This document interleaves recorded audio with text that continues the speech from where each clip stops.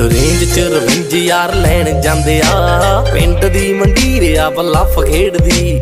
Ambulance ਵਾਂਗੂ ਆ ਮੈਦਾਨ ਛੱਡਦੇ, ਸਾਈਕਲਾਂ ਨੂੰ ਹੱਥਾਂ ਨਾਲ ਫਿਰੇ ਗੇੜਦੀ। ਉਹ ਅੱਜ ਕੱਲ ਤਾਂ ਜ਼ਨੂਬ ਡੋਗ ਬੜੇ ਉੱਠਦੇ, ਗਾਡਰਾਂ ਦੇ ਮੂਹਰੇ ਕਿੱਥੇ ਹੈ ਤਣ ਚਰਚਾ ਚ